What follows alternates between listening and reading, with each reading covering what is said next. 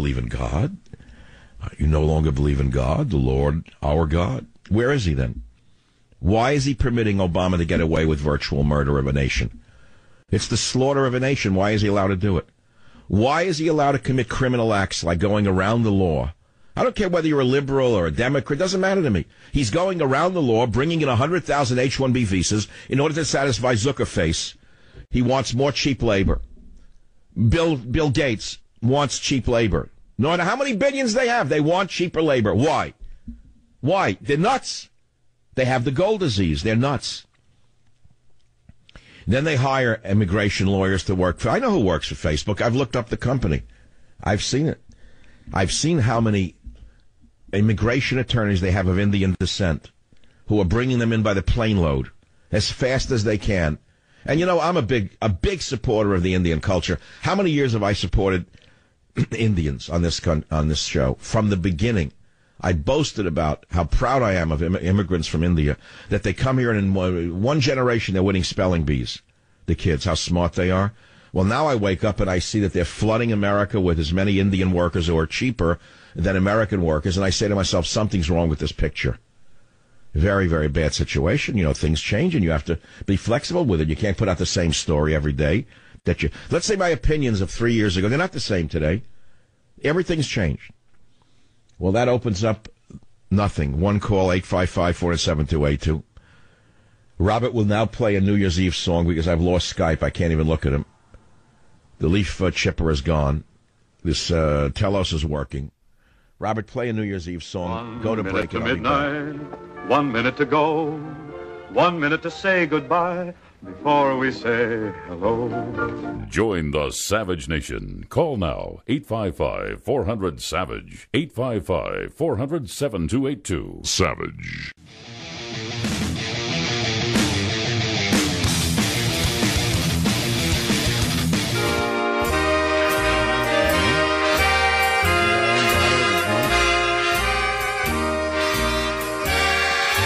Every time I hear it, I remember one story my uncle told me. He hated Guy Lombardo. I didn't know anything about it. I was a kid. I sat at home New Year's Eve. I didn't go anywhere. I, what kids go out New Year's Eve?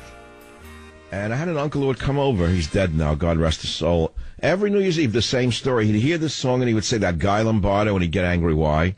Something about he ran someone over and he paid off a judge in New York. You know, I was the first ever heard of anything about like a, an icon. I thought, that, see, as a kid, you don't know any of this stuff. It's the same with the kids who are graduating college. They see a nice guy who goes on Seinfeld, black guy, you know, first black president. They figure anyone who opposes him is a right wing nut, racist. Then they wake up and they find out that college graduates are being shafted by this nice guy, first black president. He's giving out 100,000 basically green cards, H-1B visas, to undercut college graduates from getting a job in America. But they don't know. They won't, they'll blame Nixon for it. The kids come out, they're so drugged. What else did I? Oh, UK government is going to ban, may ban Trump from entering. That'll be he. He and I won't be able to go there. UK government on petition to ban Trump. They got all of the communists and Muslims in England to sign a petition to ban Donald Trump. And the idiot who runs England says that visiting is a privilege, not a right. What a disappointment this David Cameron is. What a phony this one is. Some conservative. What a really embarrass. What an embarrassment that they threw their own nation in the toilet like this. British government said that Trump has risked being banned from the UK over his comments about banning Muslims for entering the United States. Home Secretary Theresa May said that she had the authority to exclude a non-European economic area national from the UK if she considers their presence in the UK to be non-conducive to the public good. She's such a liar. She got Muslims marching around there saying, overthrow the queen, we'll put in Sharia law, we want you to wear a burqa, and they don't throw them out. Who is she kidding? They're all cowards. The entire government of England is an occupied government. It's an occupied Quisling government. Quisling may be may as well be running England right now, as the Quisling ran Norway after it was invaded by Hitler. Exclusion powers are very serious and are not lightly used, she said. You know, I'm banned from entering England, much to my dissatisfaction. It was a terrible thing that was done to me in 09. But I now wear it as a badge of pride because many famous Israeli generals are banned from England, and now they want to ban Trump. Huh? Just shows you what they become. Prime Minister David Cameron slammed Trump's remarks. And uh, the Home Secretary, the Prime Minister has made clear that he completely disagrees with Donald Trump's remarks. The Home Secretary has said that Donald Trump's remarks in relation to Muslims are divisive, unhelpful, and wrong. Why doesn't she say the same, same things about jihadis who are living in England? Why doesn't she throw them out? Because she's a coward and a liar. She's a quisling. We reject any attempts to create division? Oh, really? And the Muslims marching around saying, you know, the, the terrible things they say on a regular basis? Or who pray in a public square blocking traffic in England? A thousand of them get down in the middle of a street. They're not creating division? They're not marginalizing the British themselves? You should see what people say of this story on uh, Newsmax. Someone wrote, the kind of morons running the UK is the kind that panders to the Muslims that are slowly but surely taking over their country, just as they desire to take over the entire planet. The useful idiot mentality that preaches multiculturalism and that elected Obama is a suicidal mental disease that has infected many in the civilized world. Is a, you get the picture. Must be a listener to the show. These morons, Figaro writes, these morons were put in their offices by moron voters who were signing their own death warrant. It is amazing how stupid people are running countries in the EU. Merkel brought million immigrants to Germany without any background check. 60% of young men with their cell phones. And who did Time magazine name the person of the year? The communist potato face from East Germany, who was doing everything she can to destroy Germany. Join the Savage Nation. Call now 855 400 Savage. 855 400 7282. Is the Savage Nation. America is sitting here waiting nervously to see what the madman in the White House might do for the new year. He's done something already. New Year's surprise Obama regulation to give work permits to at least 100,000 foreign college graduates who will work at much lower wages than U.S. employees. And yet, U.S. born college graduates who will not find a job because this criminal administration will bypass the law on immigration in order to satisfy the H 1B visas that have been demanded by Mark Zuckerface and others don't even understand what's happening to them in this country because of the brainwashing. That's one of the topics. That's one of the topics. There are many others. It's a New Year's Eve show, so to speak. I mean, we know we're, we're near New Year's Eve. I mean, some parts of the world have credit. They're gone home, thank God. Like where? 134 on the West Coast, 434 on the East Coast, plus six already. It's not yet they didn't drop the ball on the Eiffel Tower. Dubai already had New Year's already. They engulfed the, the terrorists gave them a little New Year's firecracker job. New Year's Eve where on the date line. I used to go across the date line. I don't travel across the date line anymore.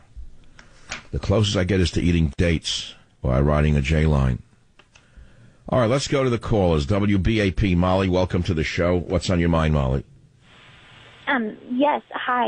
Um, I just wanted to let you know that I believe that the best show of yours this year was the one where you talked about death and the dying. A lot of people tend to avoid that subject, but you faced it head on. Uh, I don't remember the death and dying show. When about when was that this year? When was that this year?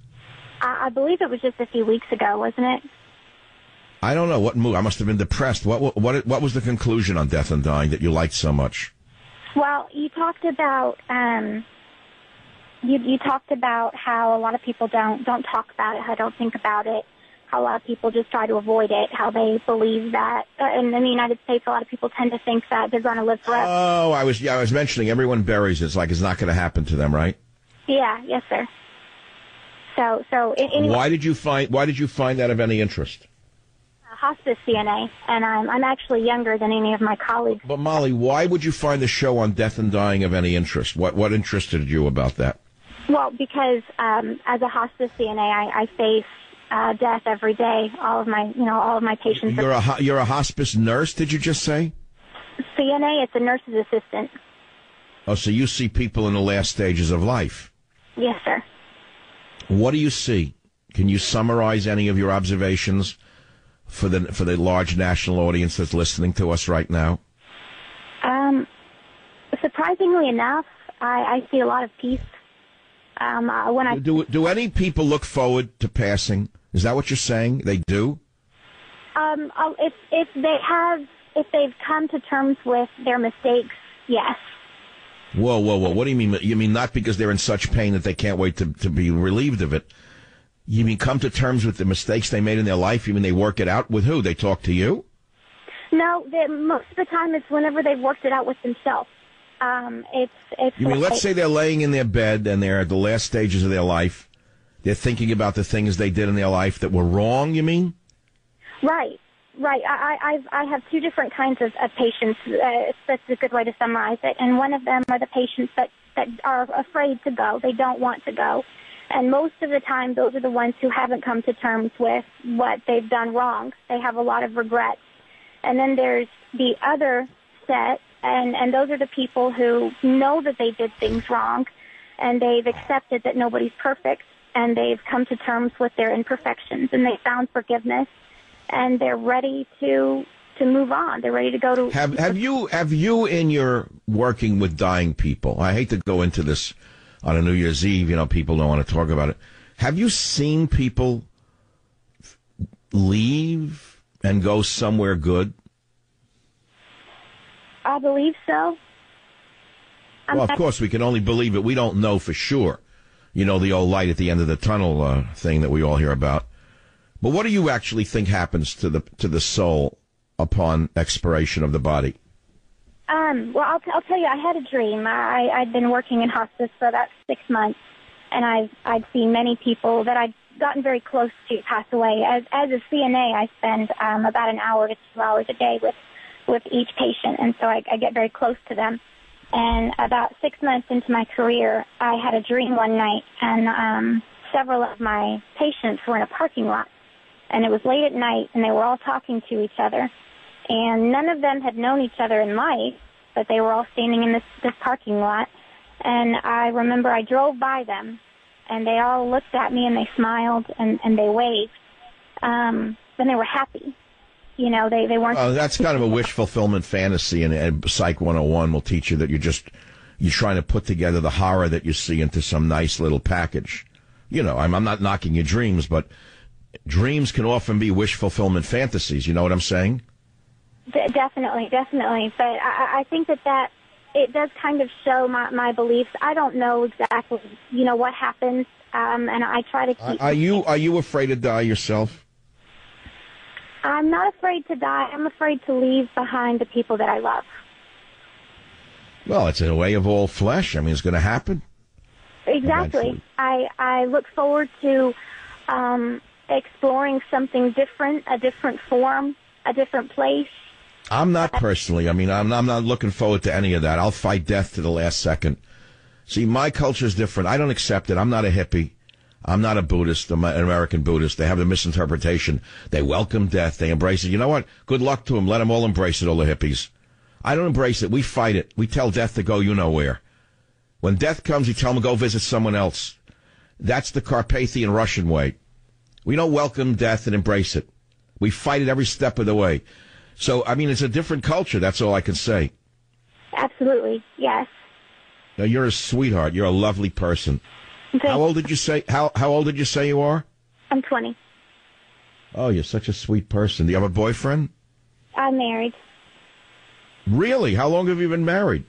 Um, it'll be two years in June. God bless you. Children? Thank you. No. Do you have children yet? No, no, not yet. We're I'm I'm in school right now. I'm uh, pre med, so we don't want to have any kids. Oh, you're a lovely. You're going to be a great, great doctor. Molly, all I can send you is my congratulations, my thanks from the radio waves, and send you a copy of my book, Government Zero. Molly, God bless you for calling. What a beautiful call that one. Never expected it. Just a beautiful. It's like you can breathe easy. You hear me breathe easy? You hear that? I actually I felt myself like sigh with relief that something good happened to today. Every computer I have in front of me is failing. My stories computer is down. My call screener is down. My Skype is down. The only thing working is the microphone right now my brain. Maybe that's all you need in radio is a microphone and a brain and a gift. A gift of ga- ga- You know, everything's a miracle when you think about it. What if I wake up one day and I have no voice? Or what if I wake up one day and I have a